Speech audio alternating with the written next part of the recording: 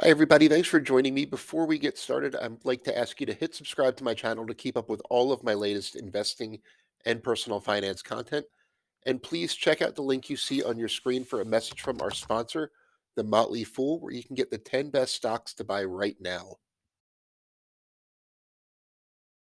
So, one of my favorite real estate stocks in the market right now is a company called EPR Properties. I recently bought some of it.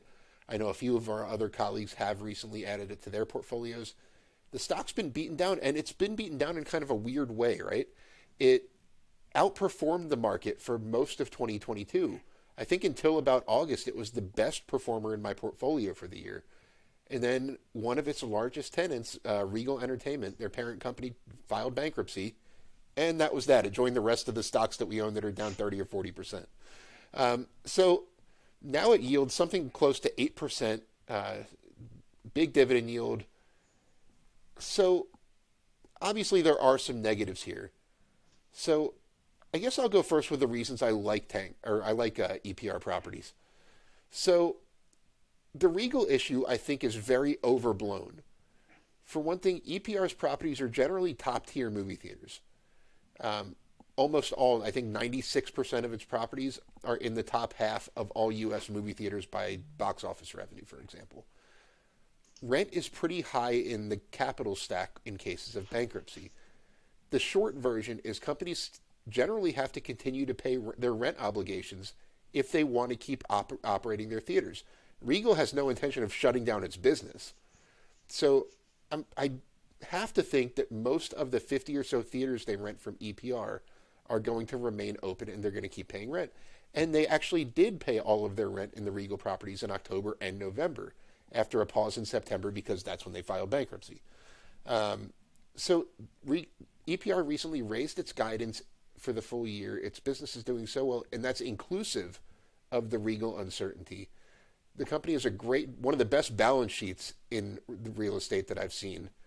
Um, they haven't even tapped into their credit line. They have over 160 million in cash. Um, we what we saw in the COVID pandemic is they can break even with about 15% rent collection because they have a very light debt load. They don't have a big interest expense. Uh, and that also gives them a lot of flexibility to grow. They're trying to actively diversify away from movie theaters over time. And the dividend they pay doesn't represent all of their FFO. They actually have a very nice cash flow after paying their dividend.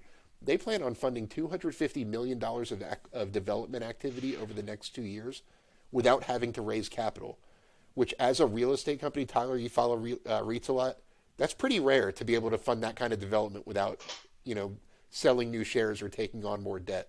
So, what am I missing? Why should I be a little more cautious on EPR?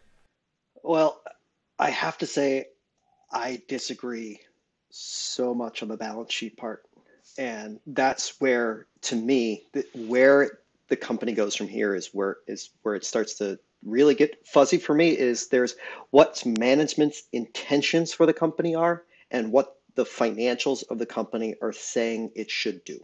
And for me you know management says it's this intention to be uh, you know highly acquisitive uh, be a consolidator in the experiential real estate business. You know, throws out that hundred billion dollar total addressable market. It's like this, we could be so big, right? But here's what concerns me: its debt to capital is still rising. Uh, it's fifty percent. You know, not awful, but we're not in a you know super conservative type of rent roll. Uh, we're in experiential, so it's not residential where you can push the leverage a little bit harder. It's it's a little bit more its leverage. It's debt to, debt to EBITDA uh, when looking on a comparable basis. I use like Morningstar YCharts for that versus what management's adjustments are, and that comes in at about six. Uh, with an and their equity cost, and we'll use you know the proxy of their dividend yield right now is 8.1 percent.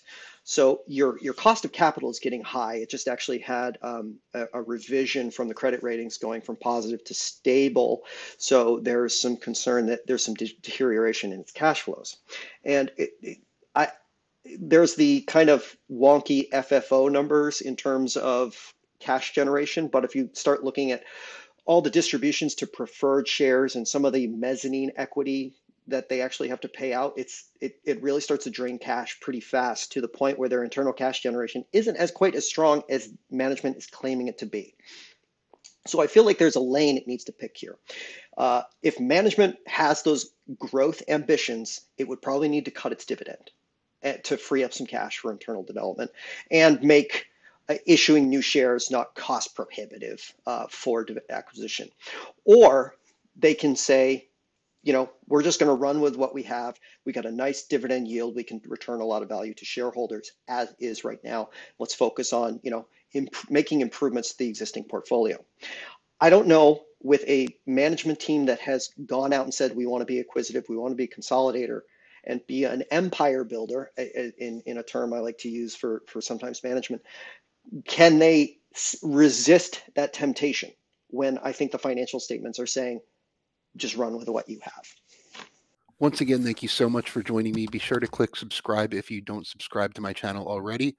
And as always, this video is sponsored by The Motley Fool.